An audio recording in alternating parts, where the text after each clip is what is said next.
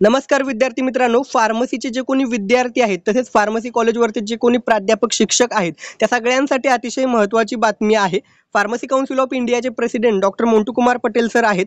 त्यांनी नुकतंच त्यांच्या लिंकड इनवरती एक महत्त्वाचं अपडेट दिलेलं आहे. इथून पुढे येणाऱ्या काळामध्ये फार्मसीचे जे कोणी विद्यार्थी आहेत तसेच शिक्षक आहेत त्यांची जी काही अटेंडन्स आहे ती येणाऱ्या काळामध्ये आधार बेस ऑथेंटिकेशन आणि बायोमेट्रिक पद्धतीनं होणार आहे. त्यामुळं अटेंडन्समध्ये मोठ्या प्रमाणावर पारदर्शकता येणार आहे आणि एज्युकेशनमध्ये क्वालिटी इम्प्रूव्ह होणार आहे.